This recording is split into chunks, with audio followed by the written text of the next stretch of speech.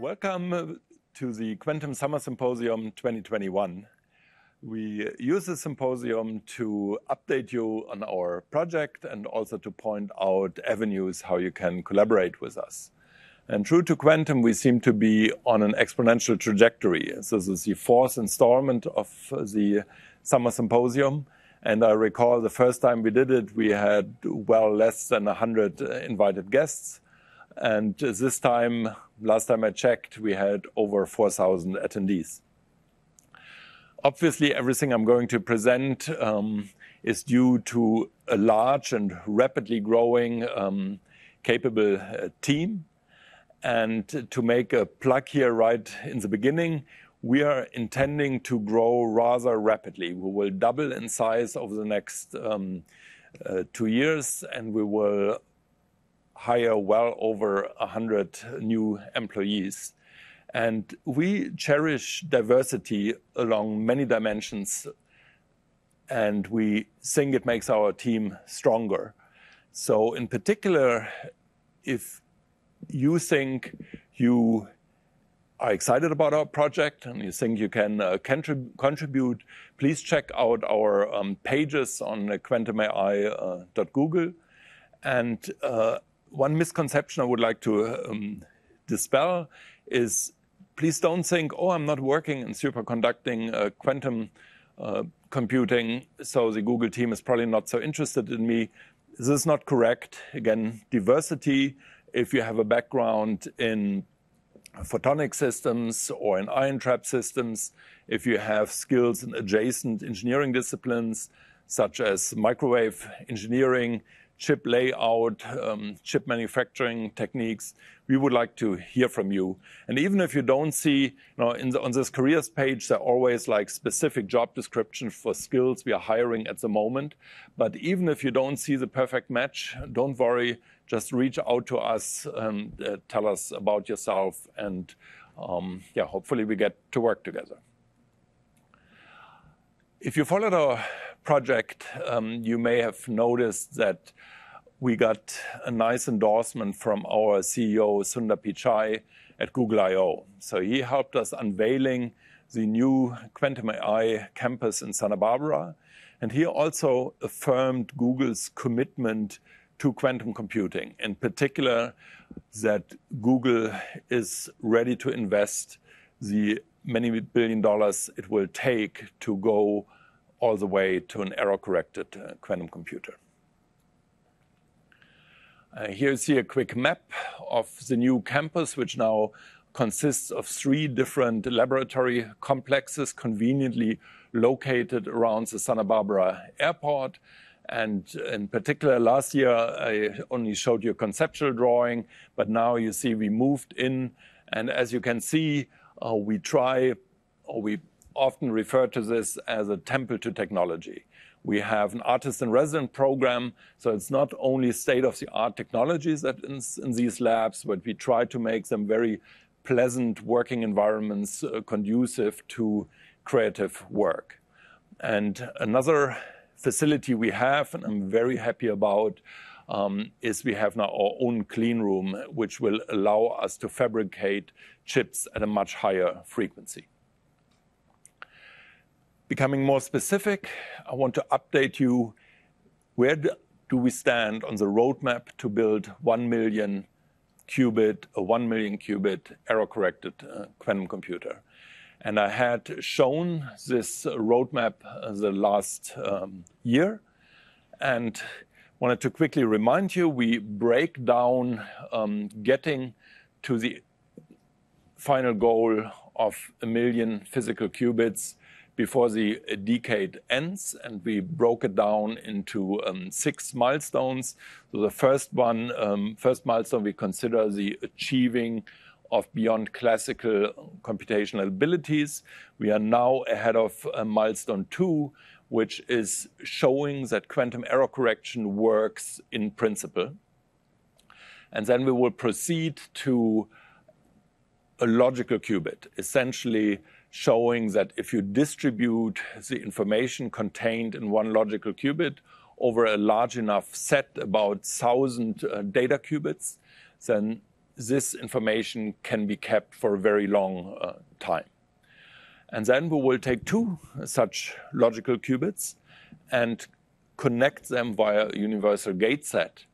And at that point, you really have de-risked the quantum physics. The quantum electronics at this stage is encapsulated in a digital module, and you can now uh, start the engineering scale up and essentially make a machine with almost as many um, qubits as you want. So to tell you where we are now, let's look again at milestone two.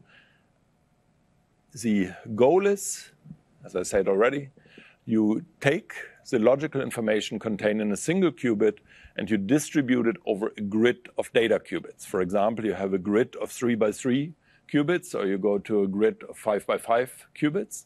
And then what you want to see if you do this is a graph like I have here on the right side.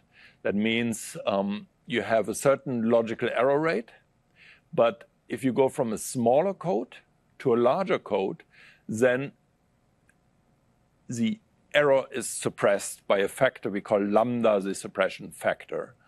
And ideally, we would like to have a big lambda, like a factor of 10, but maybe for an initial demonstration, you want to just at least go down by a third or by 50% um, in error rate. And we, where are we in achieving this? So you may have seen that we um, have a paper on uh, repetition code, which is a one-dimensional code. I think all everybody in this audience knows a qubit has two degrees of freedom, so there are two channels for bit flip and phase flip errors. And if you have one-dimensional code, you have to choose. You can either correct against bit flip or phase flip errors. But we were able then to show what we wanted to see, that as you make the code distance larger, your logical error is exponentially suppressed. And how we got there was by a number of improvements. First, we had to reduce the error of our CZ gates, go to higher fidelity um, CZ gates. Actually, the last numbers is we are at about 0.2% error rate for the uh, CZ gates in parallel, not in isolation. Um, the second piece you need is repetitive readout. This is in difference to um, milestone one, where we only had to read out once at the very end. In error correction, you have to go in every cycle, you have to measure the error syndromes. And finally, we had to add a multi-level reset. And multi-level here means it also takes care of leakage. So if the qubit goes out of the code space and you go to energy level two, then that gets reset as well, and you want to also reset it quickly. So these improvements led uh, to the paper we put on the arXiv. And then we went on to go to a two-dimensional code, the surface uh, code, and we implemented the following additional set of improvements. So first, I should make a call out to our physics team is that does careful ab initio physics-based modeling of various aspects of our hardware. And in that way, we get very good guidance with respect to error budget. Where are the critical points that we have to improve? And if you look at the um, history, short history of quantum error correction, you will notice that often it is assumed that the errors hitting the system are uncorrelated. But of course, every engineer knows that in the real world, that's not the case. There's always correlation. But let's at least try to make it as low as possible. Um, so let's reduce crosstalk because those physics-based um, models showed that it's a very detrimental effect. Then, of course, you always want longer coherence times. And the last thing, during the given coherence time, you want to do, of course, as much work as possible. So if you reduce the times it takes for readout or reset, then for a given coherence time, you get um, more done. And with this all together, we hope if you would run the experiment today, as this is not experimental data, this is theoretical um, data, I should uh, point out, but we would expect that we are about able to do milestone two, reaching a lambda larger than one, and we are just starting these experiments now. And I quickly want to jump all the way to the future, showing this moniker uh, one more time. How do we envision a 1 million physical qubit, which with today's surface code error correction techniques would um, amount to a 1,000 logical uh, qubit machine, how this uh, would look, and here you get a sense for this. With this, I want to switch from hardware to software and talk about algorithms. First, about the algorithms for today's processors. As you know, we are in the NISQ era, the noisy intermediate scale quantum era before error correction is implemented. I had also shown this uh, last year, but it's maybe worth repeating.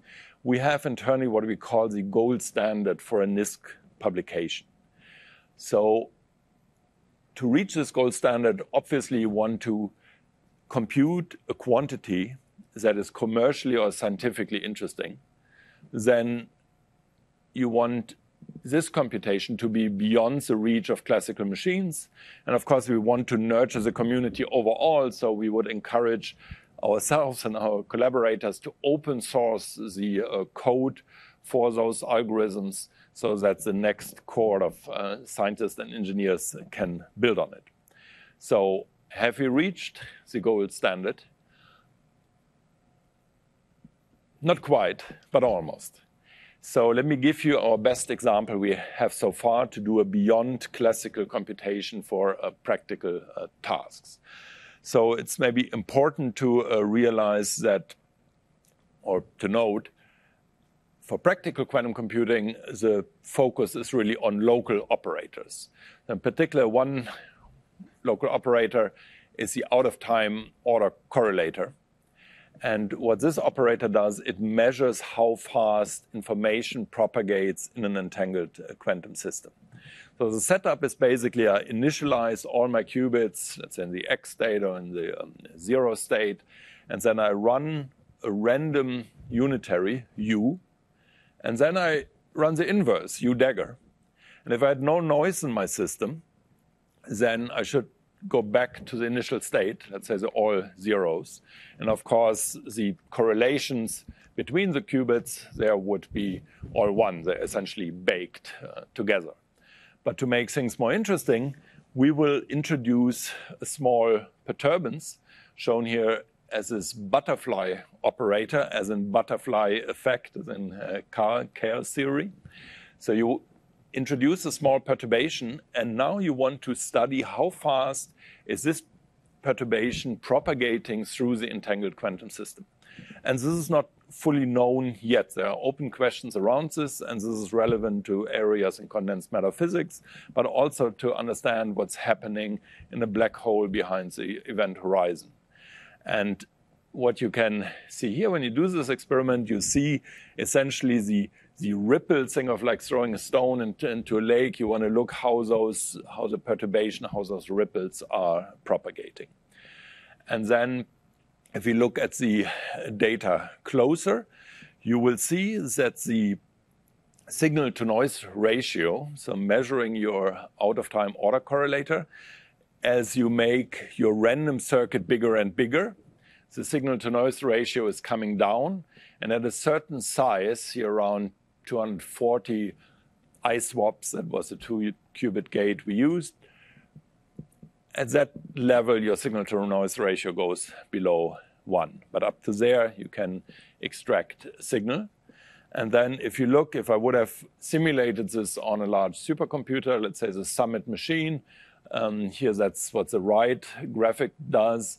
You notice, oh, 240, where am I? Ah, Damn it, I can still do this in just a second on Summit.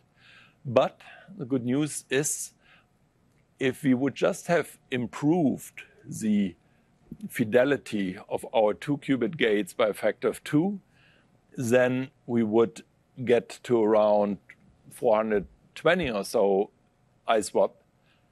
Operations, and then you're in a range that would be very costly to do on a supercomputer, on a classical supercomputer.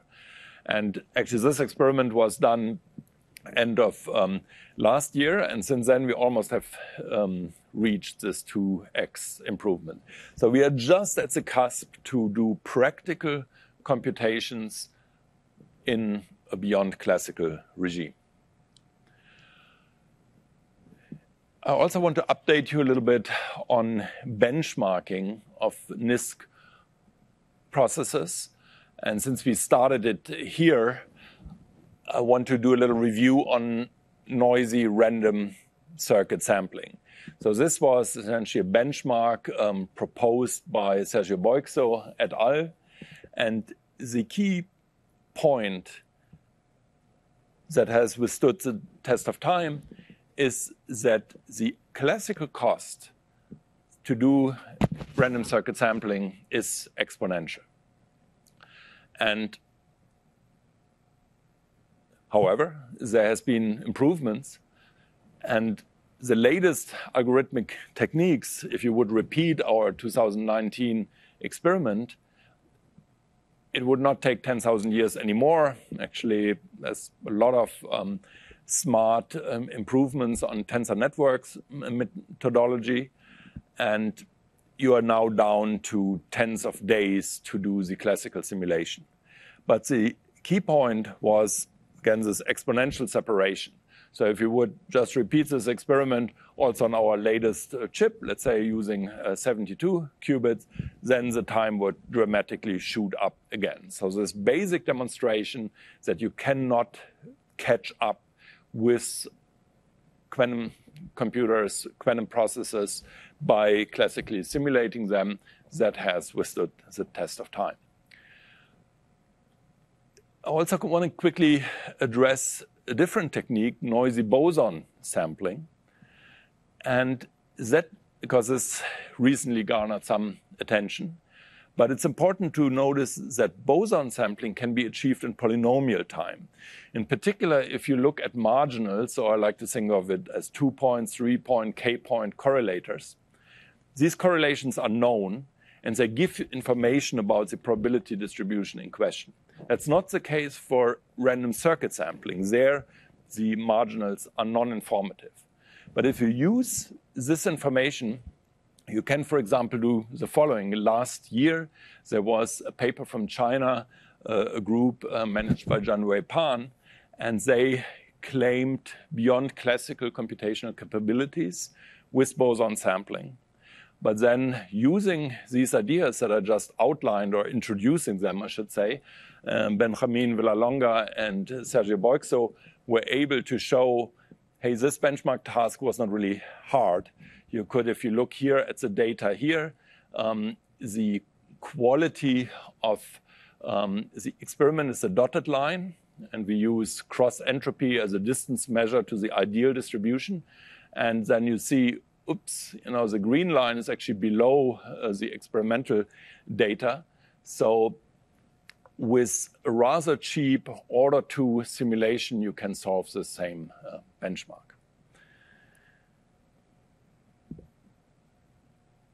Wrapping up the section on NISQ algorithms, we are obviously looking for collaborators at you, um, the audience here at the uh, Summer Symposium, and we would like you to work with us. And we therefore have brought up, uh, stood up a quantum computing service. Let's quickly review what it is. Our quantum computing, the Google Quantum Computing Service, has two pieces. We have uh, simulators in which you can do simulations with up to um, 40 um, qubits. And maybe even more importantly, you have realistic noise models available. That means the simulations are faithful mirrors of what you are later to going to experience on the actual hardware. And then we also have two grids with 50 plus qubit uh, processors in the cloud. And here I should maybe um, do a shout out to the uh, first cohorts who uh, worked with us, um, because this was a learning experience, I think, for all of us, in particular for the Google team. And what I have to confess I didn't fully appreciate that reaching beyond classical computational capabilities once and writing a nature paper, that's one thing, but having it reliably humming over months at a time and provide proper service levels, as uh, cloud people call this, is a whole different thing. So it took us quite some time to make good on this ambition. We always said, hey, if we want to um, start a quantum computing service, we better have um, computational abilities that you cannot readily replicate on a laptop. And if you want to, please visit our are various links where you can get information on how to get started with our uh, service. And of course, the challenge question we keep asking ourselves during the NISQ era all the time, and that we would like to ask you again and again can you design an algorithm that computes a quantity beyond the reach of classical machines? And if you have an idea there, a proposal there, please reach out to us because then we would like to um, partner with you, support you to perform your experiment on our machines. And of course, at the end, we hope this yields a good publication and we will open source the Cirq code. So I want to conclude with an outlook for what are the prospects of real-world impact. My talks, I um, in irregular intervals try to do this because ultimately we have to answer this question. It will cost billions of dollars to build an error-corrected quantum computer. Hey, if you have it, what are you going to do with it. And we owe it to our investors, whether those are taxpayers or Google shareholders, we owe the world a good answer to that. And I want to give you four areas energy, production, pharmaceuticals, large scale machine learning, and computer graphics, things that you may not have heard about yet, where I think there could be, admittedly, these areas are slightly speculative. I'm not saying yes, there will be commercial, big commercial relevance assured, but these are very worthwhile areas to look at. So let me start with the first one, which addresses the calamity that humankind is facing, and that is global warming. Today, we burn through 20 petawatt hours of energy, and this will triple over the next decades due to population growth and increased industrialization.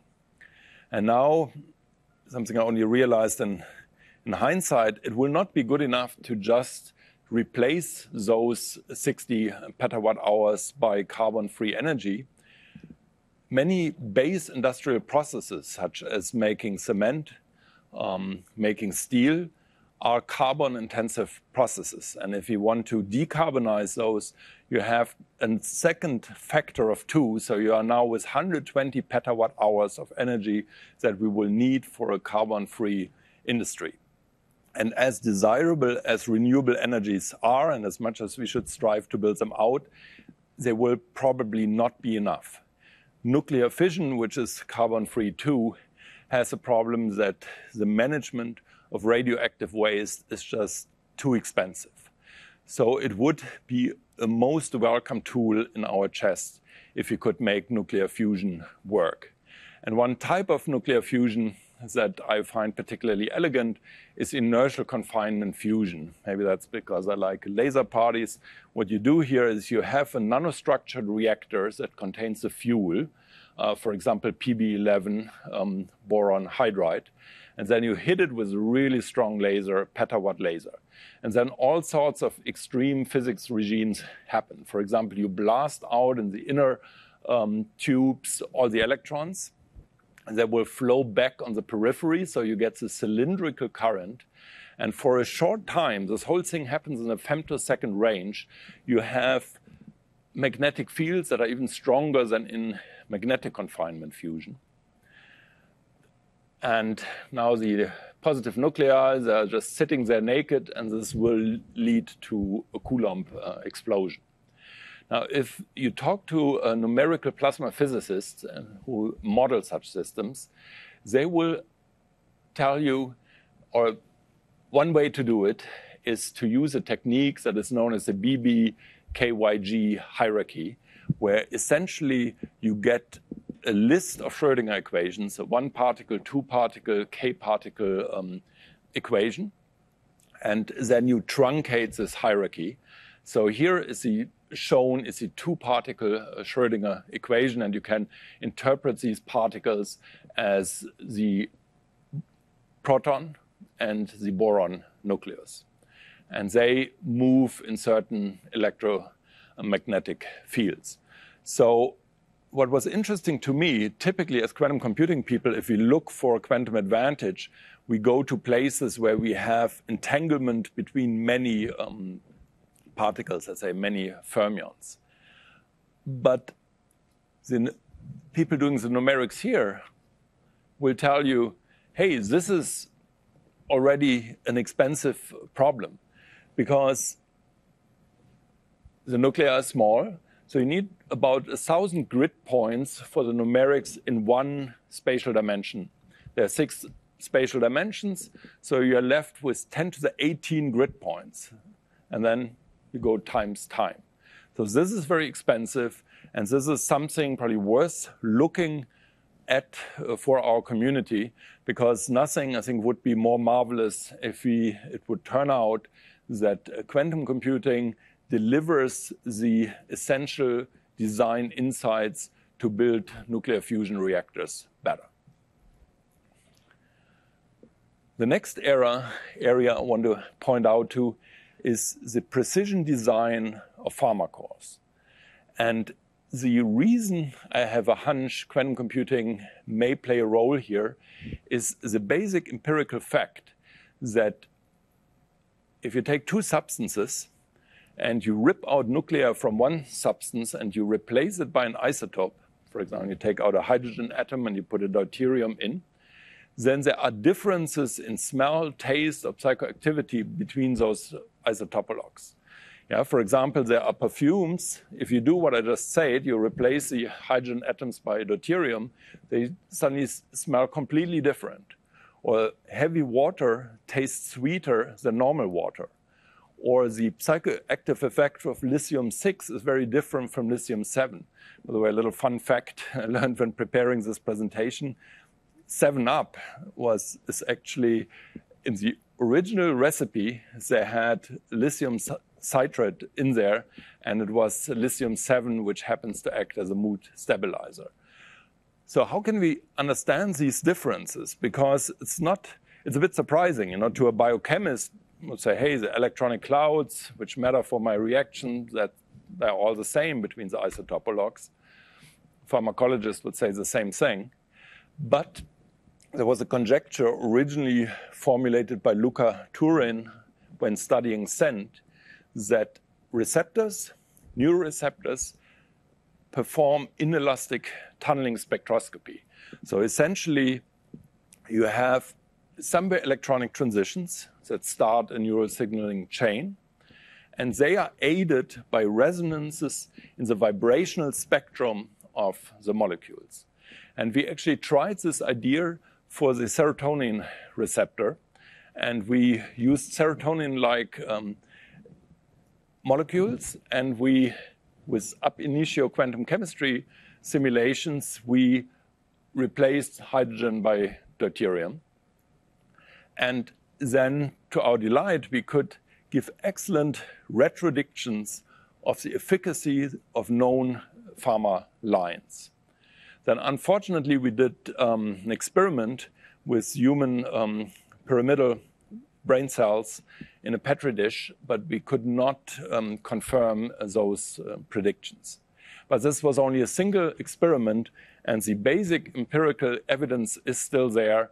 So, of course, here again, it would be marvelous if you could understand where the differences between isotopologues come from, and can this be used to make agents, agonists for certain receptors act just at the strengths we want, and to reduce side effects of certain medicaments, let's lower um, the potency for receptors we do not want to activate. Okay, let's go to a, a third area.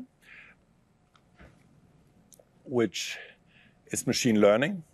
And this is a recent result um, from an intern, um, Alex Zlokapa, working with uh, Seth Lloyd.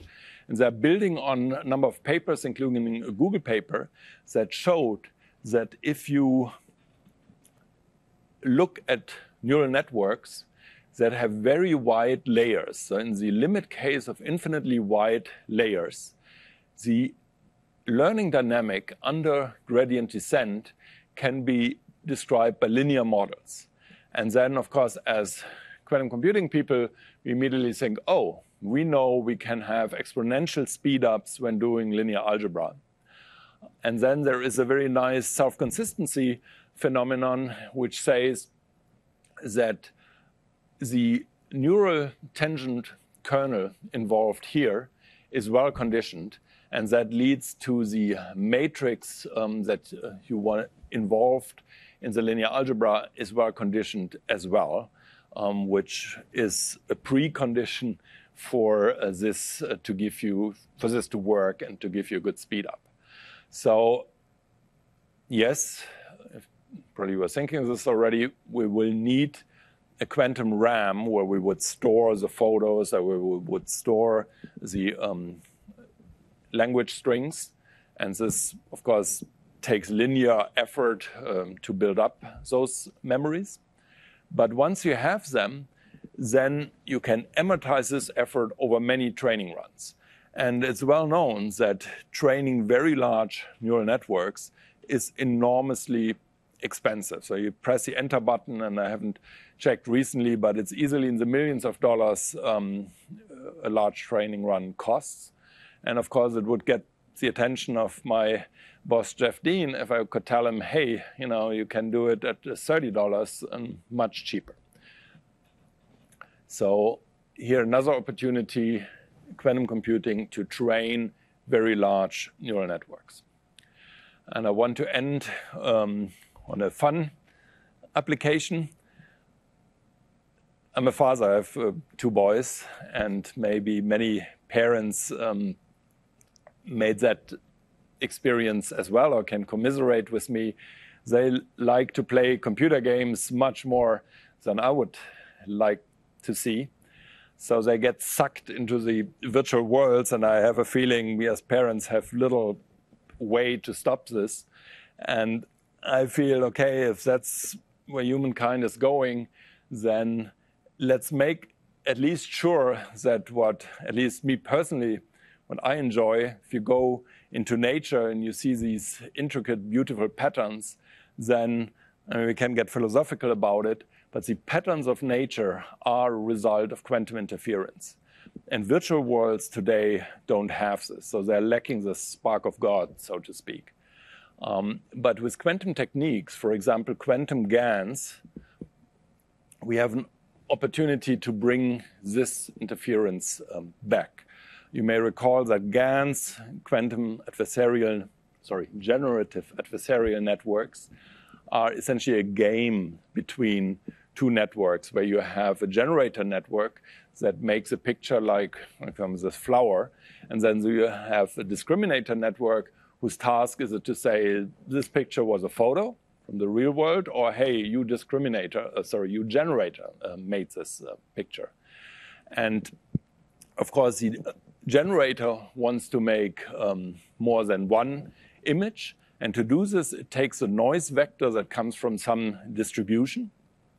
And this distribution, if you would use a quantum distribution, would, which is not representable by classical means, this or the fact that we can have probability distributions from which we feed the generator means that in principle we have the opportunity to outperform uh, classical GANs.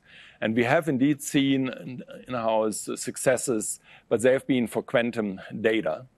But we have been working with an art studio um, of Refik Anadol, and he will actually talk a little bit later this morning. And actually, this picture I took in his studio. And they have essentially implemented this, and they tell us the artists like quantum noise and they prefer it over the noise generators that come with uh, packages uh, or typical graphics uh, packages. So here may be an opportunity for the first consumer application. And with that, I would like uh, to summarize. So I hope I was able to convince you that our community is thriving. And the question you should ask yourself, can you see yourself being part of it? And the other update was eh, we are making steady progress towards an error-corrected um, quantum computer. And would you be interested in being part of our team? And last, NISQ algorithms are an exciting research area. And there are solid prospects for real-world impact and return on investment. And we often say we are just one creative algorithm away from that. And do you have such an algorithm to propose? And with this, I would like to hand it over to Emmy, who will delight us with a poem.